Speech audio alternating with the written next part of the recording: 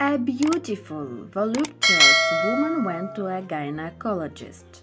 The doctor took one look at this woman and his professionalism went out the window.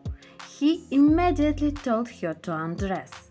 After she had disrobed, the doctor began to stroke her thigh.